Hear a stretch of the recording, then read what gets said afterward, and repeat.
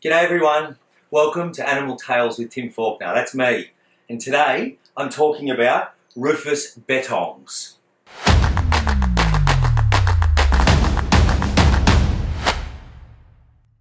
This is Ella, and Ella is a Rufous Bettong.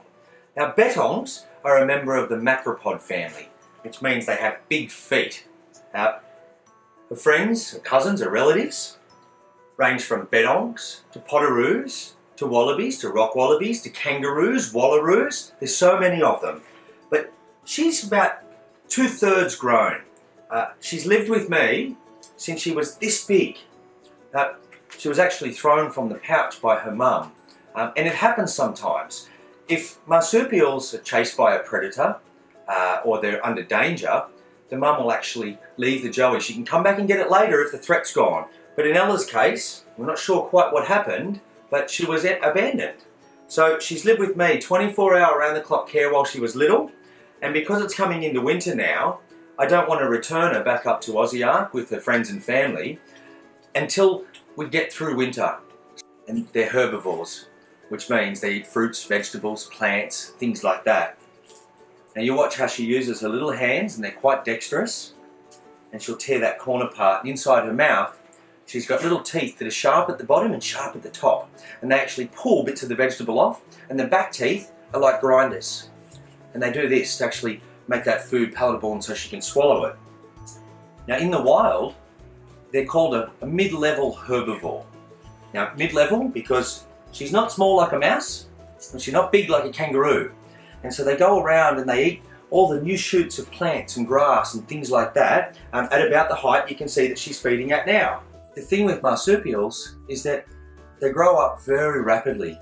And so Ella here isn't quite a year old and she's already at the stage where she could have a joey. Uh, when that happens, what will happen is she mates with a male. She's only pregnant for a really short time, like 20 days, really short. And she gives birth to a joey. It's this big, the size of a grain of rice. The joey is pink its eyes are there, but they're covered over with skin. The ears are folded down on the head.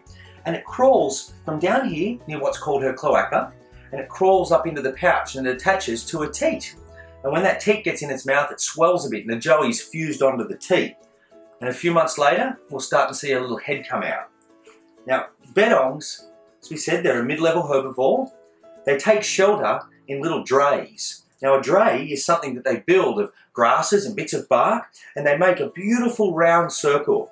And with this tail, it's not like a monkey's tail at all. They, they can't do a lot with it. It's for counterbalance. But like they're around my finger, she'll wrap up bits of grass, take it back and build a nest.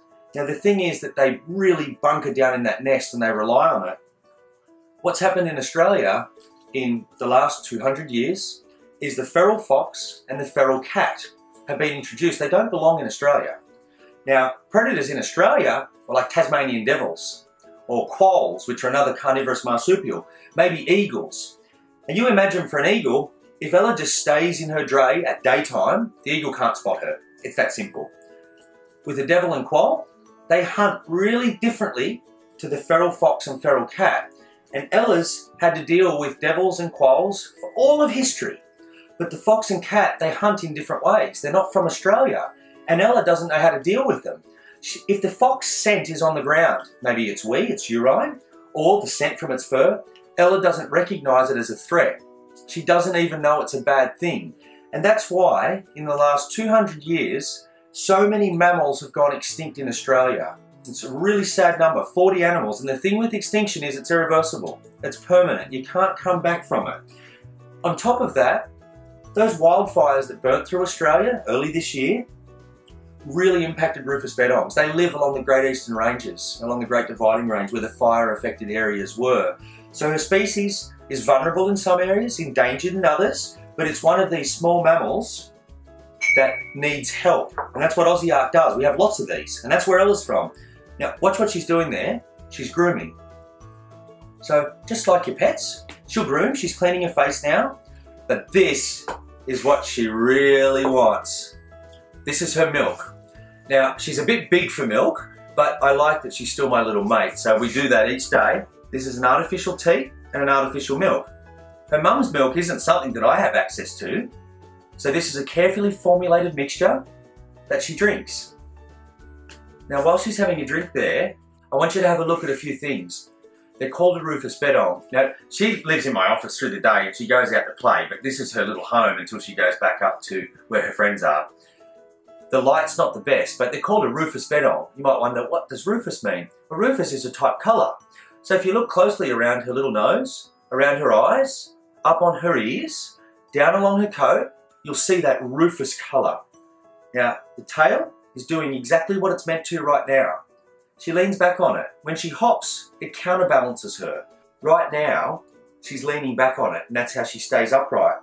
Her feet, like all kangaroos, wallabies, potoroos, and bettongs, are quite long, and that's where the scientific name comes in, Macropus, uh, which it is. That means big-footed, large-footed. Her little hands are quite dexterous. Things like grey kangaroos can use their hands, but not as well as Ella. Her hands are really, really useful. And she's got big black eyes because she's nocturnal. Her nose has a good sense of smell. Ears, she obviously hears well. They're actually one of my favourites. She's been such a good friend to my kids. And you know, the thing is, for all the kids watching, you've got to stay connected with your wildlife and your nature.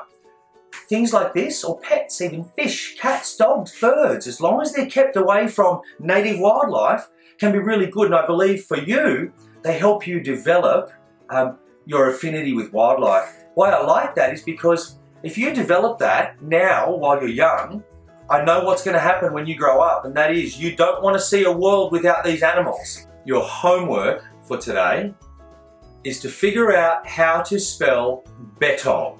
I'm not going to tell you, I've given you enough clues. They're a small macropod, a small kangaroo, called a bettong.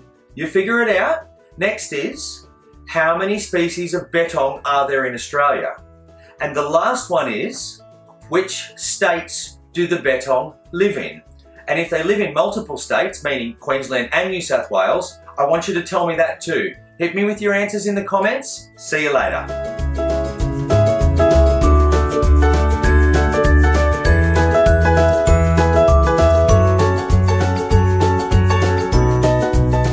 Thanks for watching everyone. The keepers and I are looking after all of our animals and our families.